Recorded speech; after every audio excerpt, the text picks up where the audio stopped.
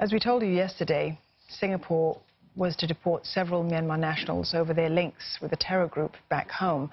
They'd raised funds and lobbied support for the Arakan Army, or AA, a 7,000-strong organization which has been involved in violent attacks in Myanmar.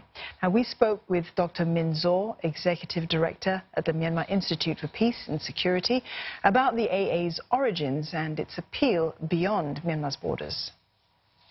The Arakan Army AA was established in 2009 by young uh, Rakhine nationalists in uh, northern part of Myanmar when a bigger armed groups called Kachin Independence Army uh, helped them establish the foothold.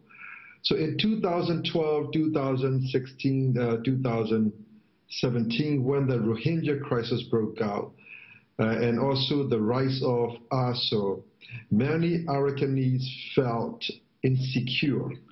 At the same time, the Arakan is one of the poorest states in Myanmar, and they did feel the resentment against the Burman national, and they felt they were occupied by those Burmans.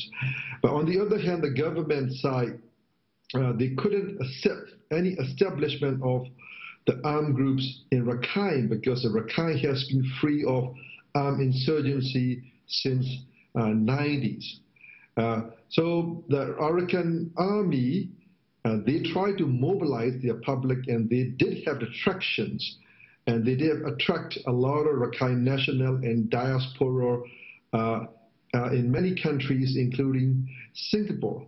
So uh, what happened in Singapore is one of the attempts by the Arakan army to mobilize uh, their diaspora and also collect funds uh, from many uh, supporters uh, to, to support their nationalist struggles in Rakhine State.